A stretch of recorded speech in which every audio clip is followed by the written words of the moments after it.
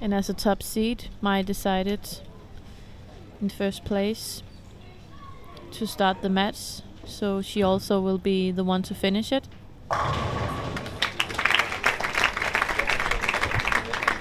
And she carries on with her striking form. All 10 pins down with the first ball.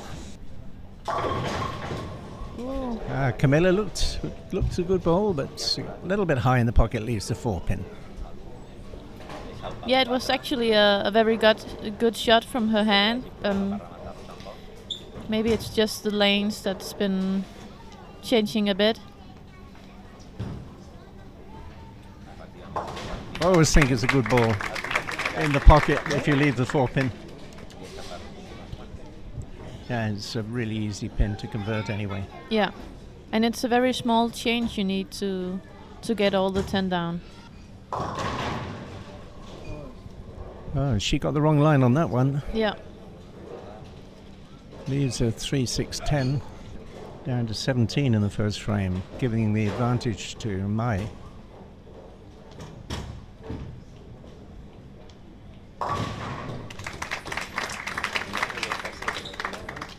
Not the best start for Camilla, but no open frames, so out of trouble. Oh, she's staying clean. Just that one split in the four games bowled so far. Whoa! There was a lazy 10 pin. So Mai really rubbing it in now, starting with a double in the final game, the final and deciding game. Mai actually says the thing she least understand about bowling is um, why her finger hurts so much every time she takes a break from bowling. And I Right. guess that's that's a problem when if you're maybe grabbing the ball just a bit or some like you to have a very tight feeling in the thumb hole.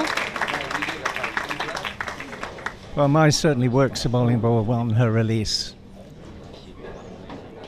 Yeah, that's that's really a, a strong side of hers. That's her release. It's Throws a semi roller.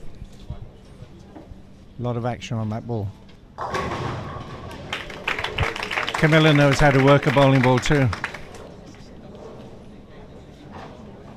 She actually, uh, when I started bowling, Camilla um, was actually teaching me how to bowl.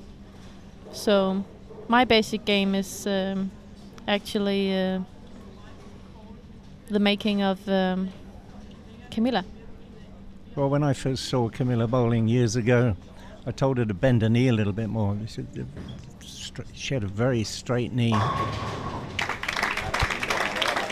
And she reminded me of that today when I was talking to her just before the semi finals. Yeah, She says she still remembers that and still tries to remember to bend her knee when she's bowling.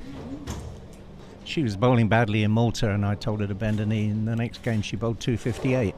not So- bad. So I was a hero for a little while. Did, didn't didn't last all that long, but That's a nice was nice while to it lasted. in. Yeah.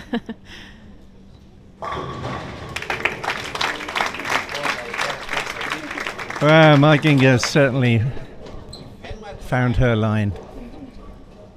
Four strikes in a row, 60 in the second frame, yes. 23 pins ahead of Camilla now. And another one, Perfect hit five in a row. all the way. Now, can we think about closing the tournament with a perfect game, do you think? A 300, 12 strikes in a row? It would be the first of uh, the tournament actually. Be a wonderful finish.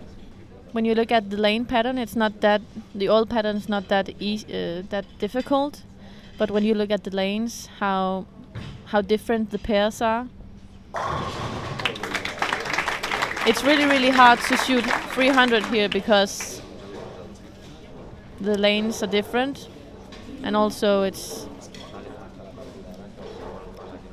really yeah developing when you play on it. When it last year, uh, Nicole Sanders, the defending champion this year, she won the tournament last year. Nicole Sanders of the Netherlands. She bowled a perfect game here. Was it in this tournament? Um, not that I know of, no. Oh, maybe it was in the Barcelona Open. Yes, indeed. We have four tournaments a year here in Barcelona the Catalan Open and the Barcelona Open, the Federation Cup, which is a team from Asia, another team from uh, the Americas against Europe, and of course, this wonderful trophy for the Summer Trophy for the youngster under 20 years of age, and the European Women's Masters. Oh, there she goes again. Yeah, it's really nice to see how the capital of Catalonia um, always brings a lot of good bowlers and a lot of good tournaments. And uh, they're indeed in European bowling a very uh, important player, especially also for the women bowling, since they're hosting the only women tournament, but also uh, gives female bowlers a small advantage in both the European Tour tournaments? Well, I've said it before and I'll say it again. The Catalan Federation that uh, run bowling in this area, in Barcelona area, they do more than more for the sport of bowling than all the rest of the European federations put together. I'll probably get shouted at for saying that, but I think it's true. Now, Mai has seven strikes in a row, is 150 in the fifth frame. Ooh, very nearly leave a 4-7-9 split. For Camilla, but she that just comes with the 4-7. So I think we can safely say that uh, is the 2010 champion of the European Women's Masters.